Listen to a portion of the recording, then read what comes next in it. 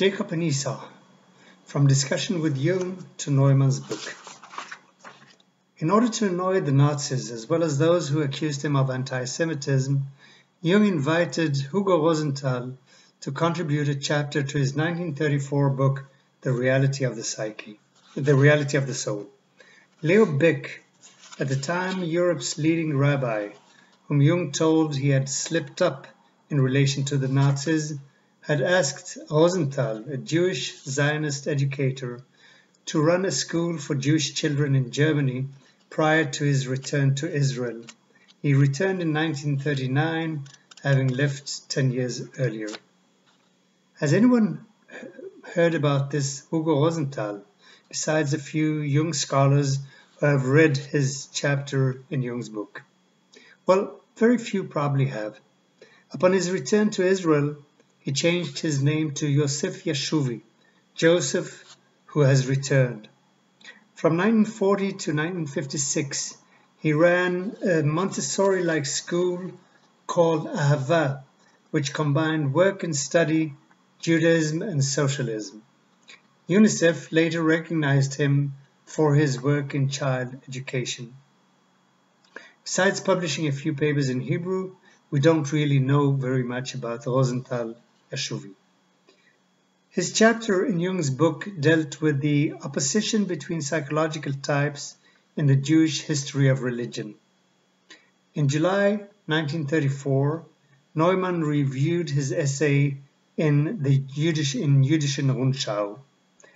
Um, intrigued and inspired by this theme, Neumann, who had just arrived in the land of Israel, discusses it at length in his early correspondence with Jung in June and July of that year, 1934, eventually developing it further, deeper, and differently than Rosenthal at, with the encouragement of Jung.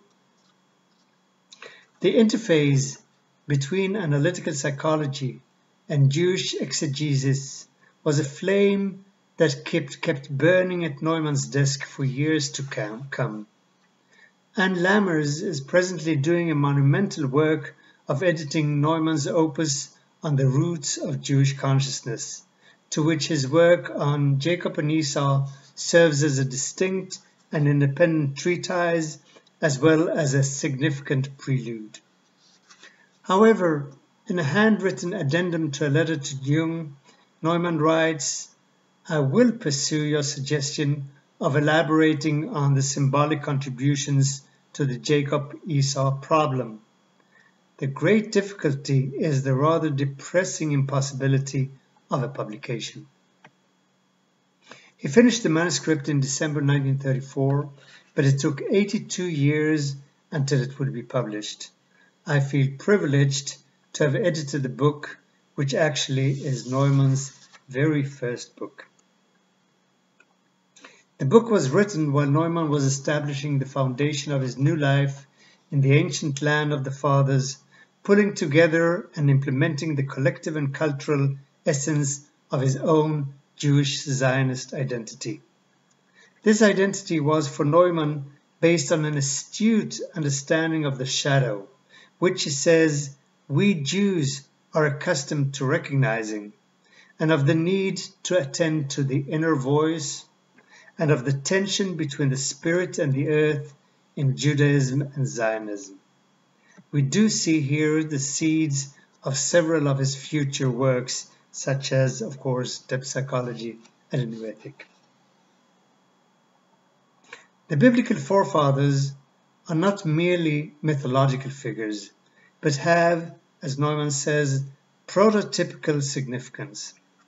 This requires an archetypal perspective that accounts for the collective unconscious when, when we study the prophets and the patriarchs. The forefathers and the, patri- and the prophets are crucially related to the collective psyche, beyond the individual and his or her family story. Their forefathers not only genealogically, geneal, genealogically but because they contain the experience of an entire people and have an impact on the descendants' psyche.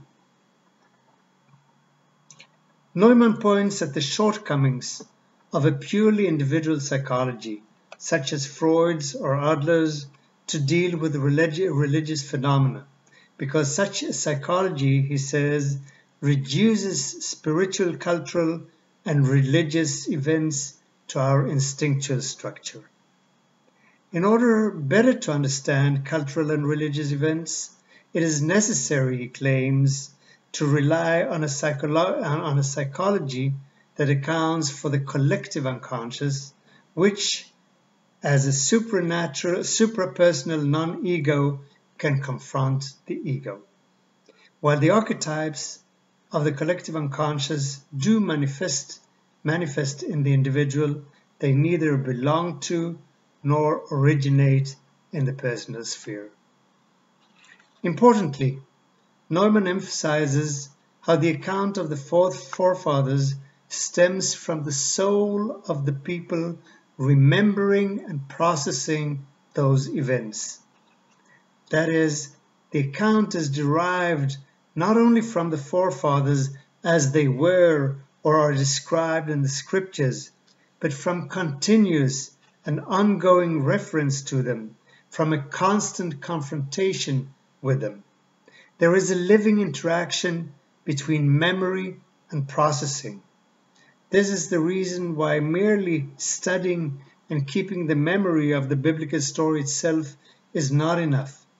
The exegesis and legends of midrashic literature and commentaries provide the processing taking place in the collective psyche. In fact, this is exactly what Neumann himself does. He carries the people's story further by processing it. The psyche, both individual and collective, is involved in the process, implying a psychological approach rather than a literal reading of the scriptures. Neumann reads the symbolic language of the midrashic texts as manifestations and a reflection of a people's unconscious thinking across generations. In fact, the constant reworking and interpretation and long-winded debates reflect an anti-fundamentalist approach, preventing the archetypal skeletal pattern of biblical stories from falling into the rigid world of literalness. The processing of the original memory is a profound psychological insight, which appears as well in modern psychological theory.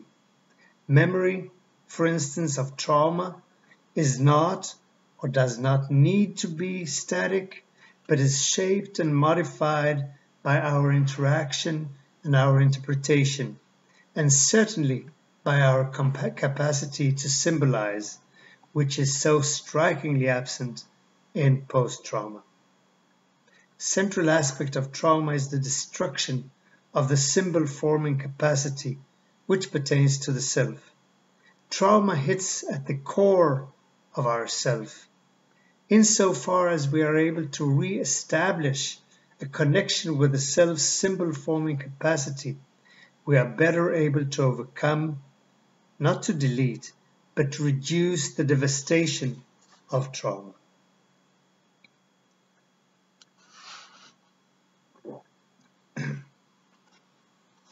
The story of Jacob and Esau embodies the theme of the hostile brothers and the principle of opposites, which, Neumann claims, is a fundamental issue of humanity and lies at the heart of the human soul.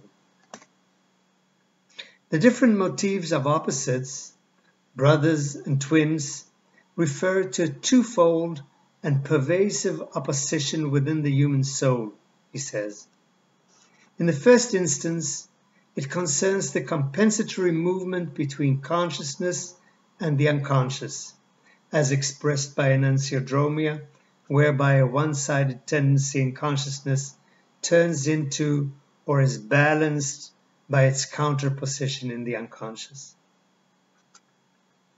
Additionally, a polarity exists in the unconscious between creation and destruction, between good and evil, representing two equal sides. There is an internal period, period, periodicity of the opposites in the collective unconscious, says Neumann, similar to the succession of day and night. That is, the motif of the brothers inevitably pertains to the problem of the shadow. As hostile brothers, the two opposing sides struggle against each other, and as twins, the opposing sides are inseparably connected. The Dioscuri, the twin brothers Castor and Pollux, the former mortal, the latter divine, indicate that the motif cannot be reduced merely to personal desires. The shadow reflects the compensatory relationship between consciousness and the unconscious. The adversary figure of the shadow represents the dark side, which belongs to consciousness as night does to day, representing what is absent from consciousness, whether in moral terms or pertaining to our instincts. Thus, a moral consciousness will in the shadow be represented by contradicting immorality. The other side, the unconscious, is most strongly incarnated in and represented by the body. Instincts and archetypes are most intimately related to the bad body as pictorial forms, if not as a parallel identity to the body, says Neumann. In order to attain its own world of light, consciousness which Neumann calls a small and late child of the unconscious, that its consciousness is born out of the unconscious, just like Neumann ascribes consciousness to the transcendent, that does not rely on the human to become conscious, and here he has an argument with Jung in answer to Job, must constantly work its way out and separate itself from body, race, and nature. The Savior, in Neumann's view, represents the consciousness that slumbers in the unconscious and guides the way out of the cosmic principle of opposites, creating individual consciousness by conquering the dragon of the unconscious. This forms the background to the motif of the hostile brothers, whereby one side drives towards consciousness, the other pull, pulls back towards toward unconsciousness. The motif of the shadow appears where a world of light and consciousness has become large enough to cast a shadow. In Jacob and Esau, Neumann explores the opposites residing in the soul of the individual as well as on the collective and cultural level.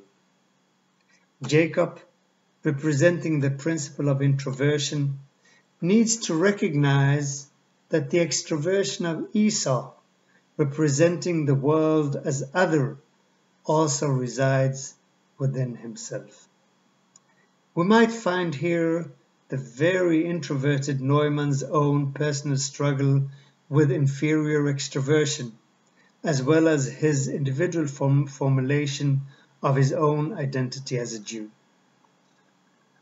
For Neumann, Jacob repre represents the Jew, or as Jung writes, symbolically the quintessence, quintessence, quintessence of the Jew, who carries the promise as the chosen one, a recurrent theme, of course, in the mythologies of different people and cultures.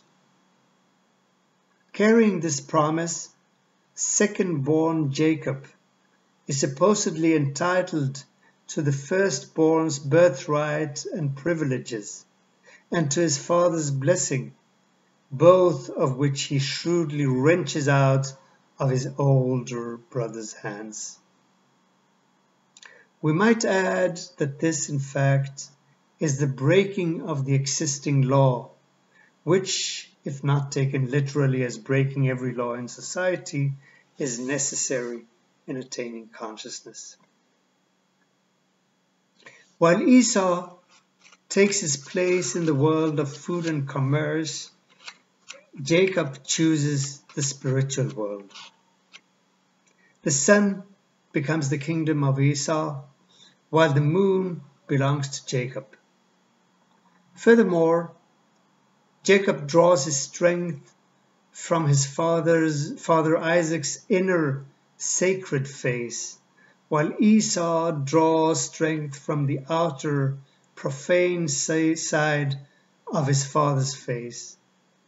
It is significant that face, in Hebrew pan or panim, is one of those intriguing words found in Hebrew. Face can be feminine, masculine, and plural. It is related to the word to turn, pone. That is, the literal meaning of panim is the face turned toward one, and it also means interior, pnim. Acquaintance with the etymological root of Hebrew words is important to understand the imagery behind some of the Talmudic legends. Let us also keep in mind that Jung writes, I call the outer attitude, the outward face, the persona. The inner at- attitude, the inner the inward face, I call anima. In this sense, anima is not only the feminine in the male psyche, but the inward face. In his treatise, Neumann takes introversion and extroversion beyond attitude types and object relations. As a pair of opposites, Jacob and Esau reflects the division between the inner voice of spirit and the outer hands of action. You might recall that when Isaac is old and approaching his death, he called upon Esau, his beloved son, to go hunting and prepare for him a dish that he loved. He would then bless Esau before he died. However, in an act of deception orchestrated by Rivka, by Rebecca, which means to tie fast, mother Rebecca, mother of the warring brothers, she prepared a dish for Jacob to bring to his father and helped him obscure his identity. Covering his neck and hands with fleece to appear to his father as if he were the hairy Esau, changing his persona to that of his brother, Jacob presented the meal with the intention to receive his father's blessing. Isaac was suspicious, saying, The voice is Jacob's voice, but the hands are the hands of Esau. Nevertheless, he blessed Jacob. So, Jacob and Esau represents the pair of opposites between the inner voice and the hands of action. Jacob is turned toward the internal invisible world towards Yahweh uh, and his inner demand, the God that does not manifest in images or in man made artifacts, and is not concretized in the outer world. In contrast to Esau's visible world of external reality, Jacob's is the world of the inward looking gaze a world of interiorization. This is a world in which the God image is, in fact, imageless, an inner sacred space of pure interiority which cannot be depicted in the physical world. Neumann explores the relationship between Jacob as a prototype for the Jew and the nocturnal world of the moon. Beginning with the Hebrew lunar calendar, the moon symbolizes rebirth and renewal and the plea for the future messianic era uttered at the New Moon Festival. Based on a legend which tells of the sun and the moon originally being of equal size, Neumann discusses the balance between the two sides, the inner and the outer sides of the world, the extroverted and the introverted aspects, the objective and the subjective circumstances, and the two directions in which the face can turn. Being of the same size and together forming a whole, they constitute, he says, the original predefined condition of the world. In the legend, the moon asks God if the sacred world of the moon should not be larger than the profane, profane world of the sun, to which God responds by making the light of the moon 60 times smaller.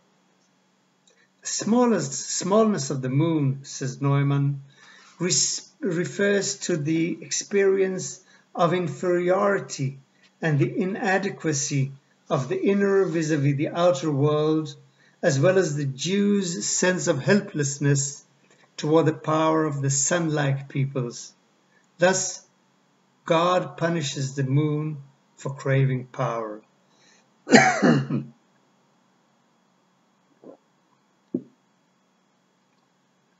the Midrashic text, God consoles the moon that it shall rule day and night. Neumann quotes from a letter in which Jung responds to his ruminations on the sun and moon. And Jung writes to Neumann, everything exterior is the world of the sun, and there is no doubt that the power of the sun is great. The inner is invisible and always seems to be powerless. In reality, however, says Jung, it rules secretly and pervasively, and its power is as great as the sun's. With a God image as pure interiority, we are required to be oriented toward the inner voice, toward the voice of God. This inner voice refers to the breath, the, the spirit, and the wind. The voice becomes a manifestation of an internal God image, an orientation within the human heart, rather than being lost in the world and in, in, the value, values of the external collective. Neumann, of course, develops these thoughts further in Depth Psychology and a New Ethic, where he writes, each new revelation of the voice in an individual is opposed to conscience as the representative of the old collective ethic. This inner voice of the self, thus, is opposed to the laws of the collective. But the story of Jacob and Esau also reflects the sense of inferiority, fear, and threat that invisible interiority experiences in relation to the hands of action and the skills of the extroverted. For Jacob, his brother Esau represents the other. This is the idea and the imago of the other, who is betrayed, who has to depart and find his way in the outer world. With a strong foothold in external reality, he then becomes a threat to Jacob's introversion. Yet, along the lines of the biblical story, and as Neumann points out, if Esau can be recognized as an internal shadow, recon- reconciliation can be found. Jacob, who cunningly ensured he becomes his father's chosen son, needs to recognize that with being chosen comes what we might call self reflecting inferiority. For Jacob, as an introvert, Esau, Esau epitomizes the frightening, violent world capable of crushing him and his family, the small seed of the great promise. Something valuable internally requires protection to be kept apart, sometimes as a secret, secret which means set apart, just like the Hebrew word for holy, kadosh, with a concomitant experience of being externally threatened. While Jacob's fear is directed toward the outer Esau, his fear is inten intensified by Esau within himself, his shadow. In fact, Jacob's image of Esau is a combination of the real Esau and the projected shadow, that is, his own inferiority and inner brother.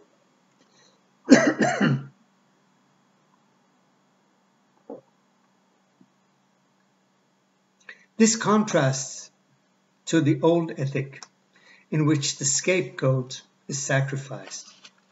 The problem, says Neumann, must lie with Jacob. Thus the problem of evil becomes an inner Edom. Edom is the area where Esau came to reside. The resolution of the moral conflict manifests itself as a sacrifice of the goat, of the evil side within, thus reflecting the polarity between Yahweh and Azazel, between God and the scapegoat, who carries the people's sins into the wilderness, that is, into the habitat of the evil demon, the source of the sins. Scapegoat in Hebrew, Sair Lazazel, the hairy one to Azazel, to the demon in the desert.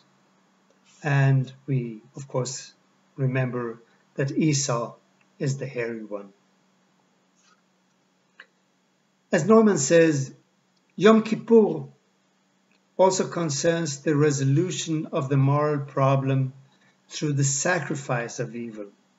The part representing Edom is brought as sacrifice in its symbolic shape as a goat. However, when repressed and supposedly resolved by being split off, the struggle against evil becomes an everlasting, self perpetuating process. We don't overcome evil by splitting, particularly since evil resides in all and every one of us, as Neumann and others have said. Rather, introversion requires acknowledging its inferior, undeveloped, extroverted side. This inferior extroversion, however, is not identical with the real Edom, the extrovert and ruler, ruler of the world. That is to say, internalization is not a wholesale process.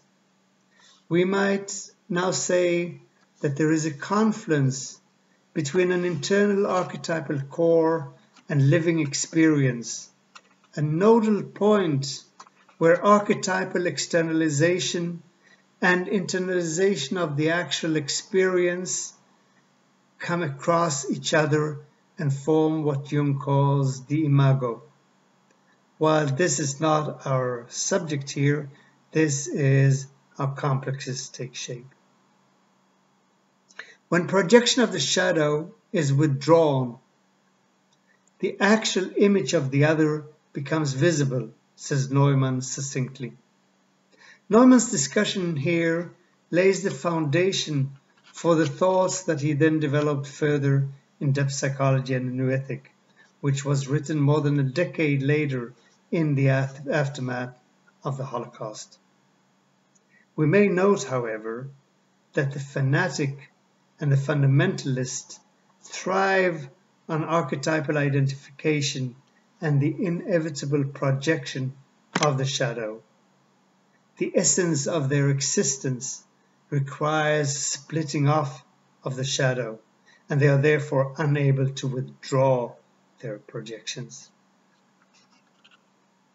The problem of opposites eventually reaches its peak and resolution in Jacob's struggle with the angel. In a response to Neumann, Jung writes, the other reinstates the divinity of God in contrast to human inflation and thereby establishes the initiation, that is, the path of redemption until the final revocation of the separateness of man from God. Upon his return after 20 years in exile, during the night before he crosses the Yabuk River, Jacob encounters a stranger. When struggling with him, Jacob does not yet know who this adversary is. Only later does he remark to his brother that he has ba- battled with God in the guise of Esau, that is, his inferior shadow and representative of the hostile world. Jacob's personal shadow has here merged with the archetypal antagonist, and shadow and self have become one. There is no self without shadow, and the self may only be reached by or through the shadow. When Jacob greets Esau, he tells him, For therefore I've seen your face, as though I had seen the face of God, and you were pleased with me. Neumann observes how here something fundamentally different from the customary, customary Judeo-Christian approach is taking place. Rather than sacrificing the interior, eh, the inferior and the negative aspects, scapegoating it, sending it out in the desert where the demons reside, that is outside the realm of consciousness, Jacob sees God in his adversary. The onslaught of instinct then becomes an experience of divinity, says Jung, in reference to Jacob's wrestling with the angel. This event, at the height of the hero's struggle with the adversary, transcends the problem of opposition and the opposition between the two worlds. Jacob, the introvert, comes to recognize the outside world and evil as the very face of God. He now comes to accept and reintegrate his shadow. He assimilates Esau into consciousness and he acknowledges him as divine. Furthermore, he also recognized evil as God's messenger and the apparently hostile and negative outside world as the face of God, writes Neumann. Having fought both God and humanity, Jacob has prevailed. If we want subtle evidence of Neumann's rootedness in his cultural heritage, and its influence on his psychology, we have it right here. At this peak experience, Jacob's name is changed to Israel, having fought with God, but it also means directly to God. The central prayer of Judaism is Shema Israel, hear or listen, Israel, a call to attend to the sacred voice, the inner voice of the self, in psychological terms. This is a development from a condition in which the archetypal adversary, Satan, is split off from the God image and can rather become integrated. This is a tremendously significant stage in the development of the psyche. We might say that the other has not only been recognized as the shadow within oneself, which is already a manifestation of consciousness, but the gifts that Jacob brings his previous brings his previously hostile brother, the adversary, are his sacrifice to the divine, his sacred making that transforms the other, both as shadow and as God image.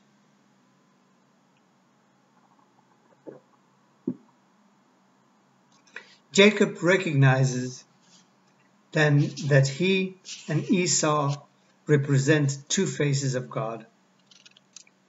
It is the struggle, writes Neumann, which enables the experience of the duality of God as manifested by the inner and outer worlds, by good and evil, and by the two brothers.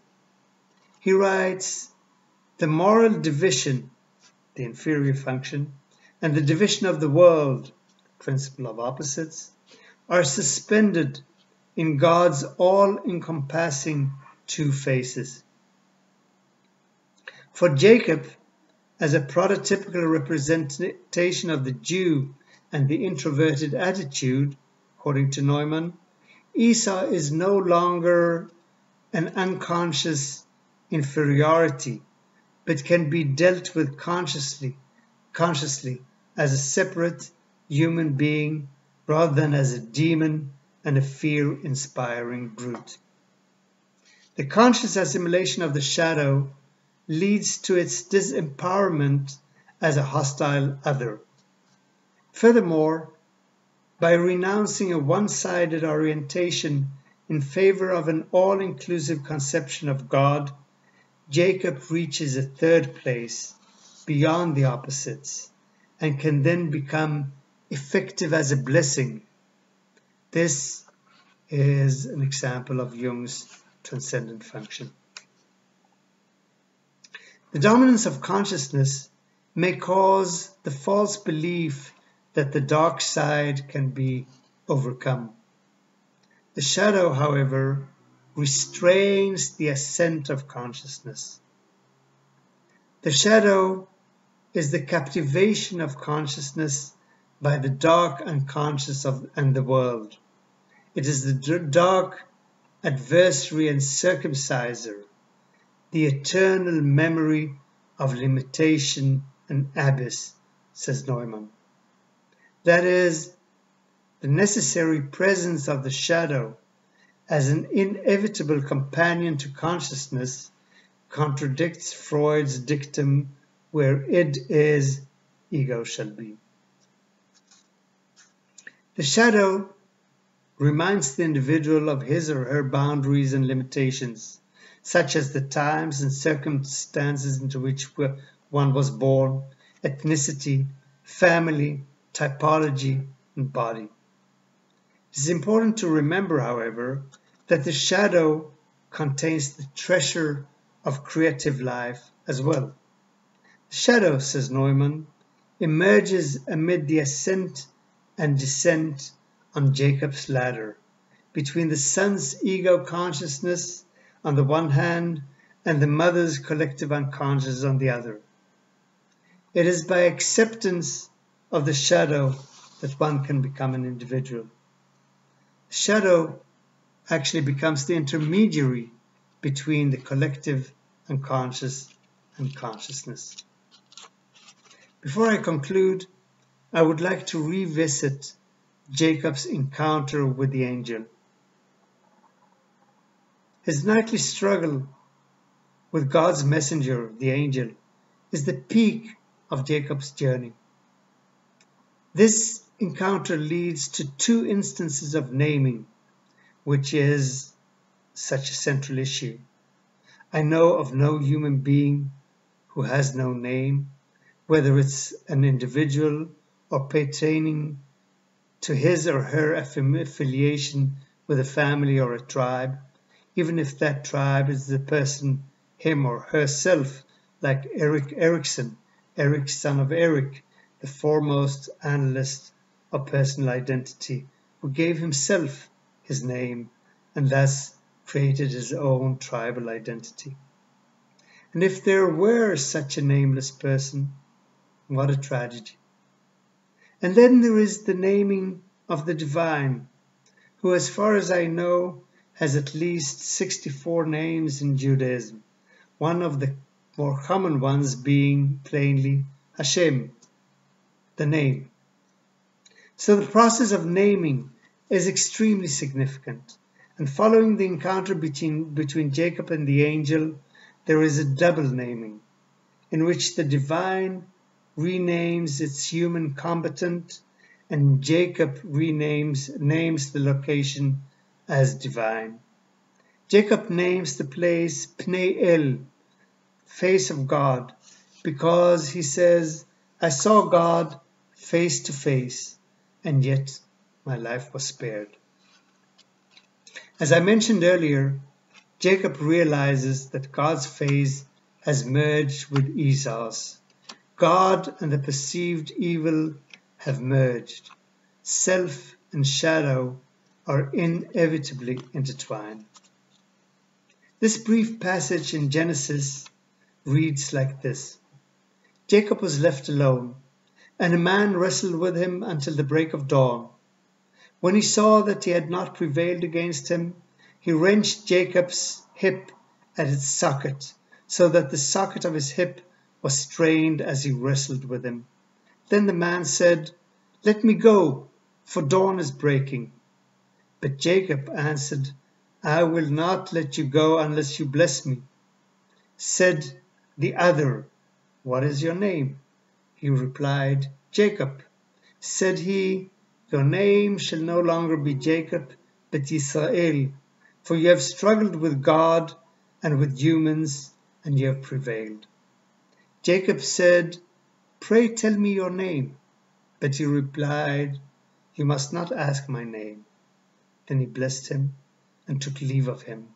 So Jacob called the place Pnei El, saying, it because, It's because I saw God face to face and yet my life was spared. The sun rose above him as he passed Pnei El, limping on his hip. In the scriptures, we are told skeletal stories that then are fleshed out by legends and interpretation. The encounter between Jacob and the angel is a pivotal, dramatic encounter between human and the divine, ending in a draw between them. The angel begs to be released, but Jacob, as he did already with his father, squeezes a blessing out of him before he lets the angel return to the divine realms. And Jacob, well, he's left limping. Neumann considers the angel's touching Jacob's loin as related to the sexual sphere, which he says is weakened by the encounter, leaving Jacob limping. It may, however, also reflect Jacob's strength as a human and as a mortal, which, in contrast to divine potency, always entails a wound.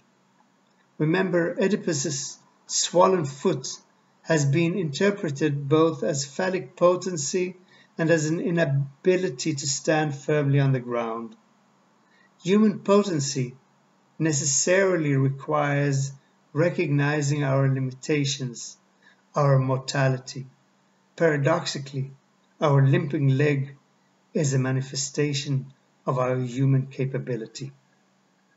And the divine becomes more potent by the merger of God with the adversary. Godliness entails a sense of wholeness and harmony, such as the planet's orbit in space.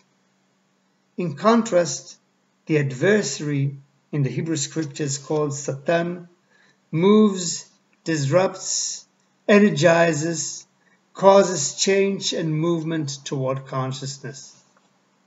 So Jacob is renamed Israel, which, as I mentioned earlier, means both strife with God and directly, Yashar El, directly to God.